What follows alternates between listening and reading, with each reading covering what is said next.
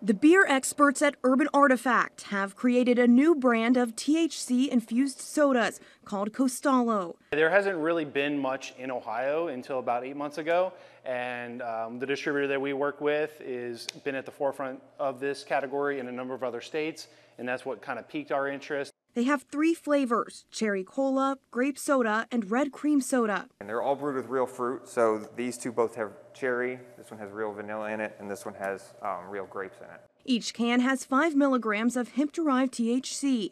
The sodas don't have any alcohol and are made with Delta 9.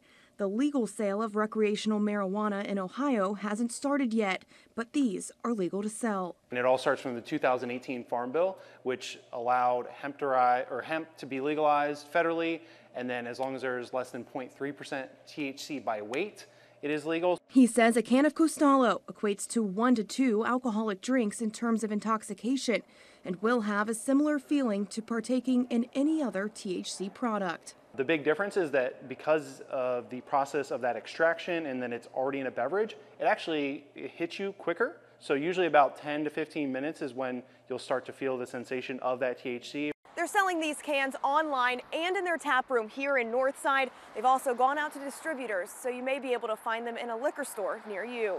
Reporting in Northside, I'm Chelsea Sick. You can always get local stories right here on YouTube, but go ahead and hit that subscribe button to get notifications to stay in the know.